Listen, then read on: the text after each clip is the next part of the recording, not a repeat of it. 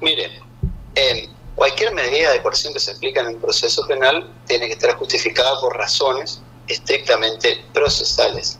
En este caso, no se dispuso por la autoridad judicial correspondiente la detención de ninguna persona hasta el momento, pero sí se ha dispuesto de alguna de las personas sospechadas someterla a evaluaciones sanitarias, hisopado, eh, a efecto de determinar un eventual contagio y también se ordenó judicialmente el aislamiento de esas personas y de su grupo conviviente, por lo cual las mismas quedarán o deberán quedar a su resguardo en sus domicilios sin poder salir cumpliendo ese aislamiento, esa cuarentena, mejor dicho, eh, dispuesta por el juez de la causa. Esto, esto bajo vigilancia policial o algún, alguna vigilancia, digamos, para que se cumpla.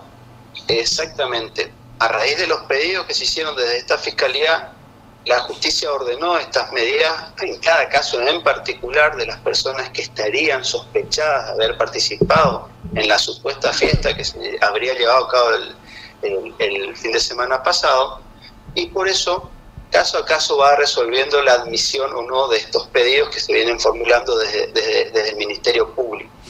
Por lo cual, si bien no están detenidos, a quien sea destinatario de estas medidas van a tener que cumplirla, eh, cumplir el aislamiento y la cuarentena en sus hogares.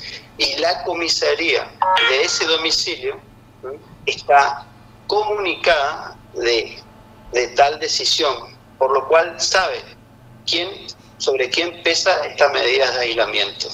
Y si llegara a violarla, estaría violando una orden judicial, motivo por el cual eventualmente se iniciaría otra actuación judicial. ¿Y tendría una pena mayor, calculo? Seguramente que sí.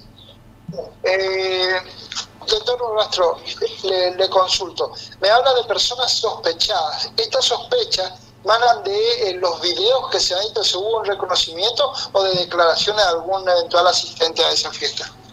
Mire, a raíz de los diferentes medios de investigación que estamos teniendo, se ha podido establecer el rostro o de quién sería algunos de los rostros filmados en, esta, en estas grabaciones que fueron viralizadas.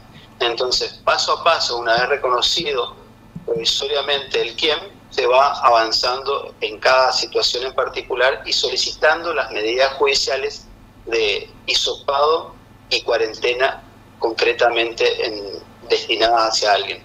Aprovecho la oportunidad para decirle que todo lo que tiene que ver con la regulación de los eventos sociales y familiares está regulada en el decreto provincial que lo dictó eh, recientemente el gobierno de la provincia de Corrientes.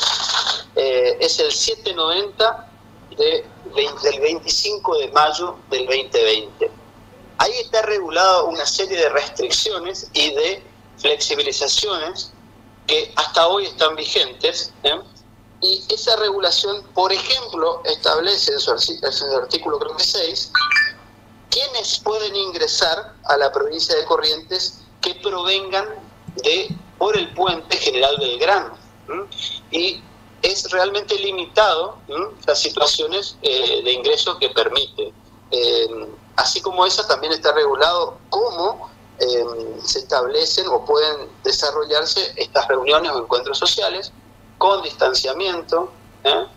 y eh, con cupo de personas hasta 10 y los horarios.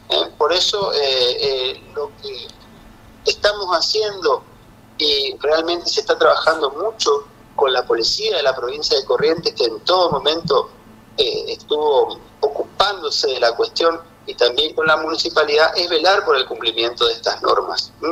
Eh, la situación está regulada y es lo que tenemos que cumplir. Son medidas que están destinadas para la protección de todos nosotros. Donde se incumple una de estas, se genera un riesgo que a su vez, a su vez, genera, valga la redundancia, un montón de esfuerzo hacia los organismos sanitarios y las fuerzas del orden que tienen que tratar de eh, velar por el cumplimiento de estas medidas sanitarias.